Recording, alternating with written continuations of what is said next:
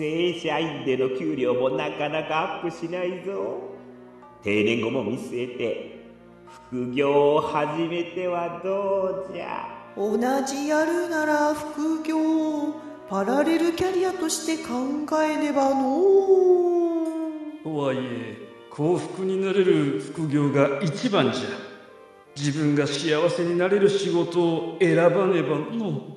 そんな方法あるの？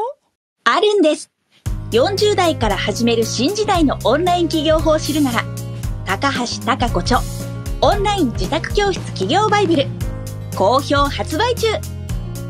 気づいた今から始めてみませんか？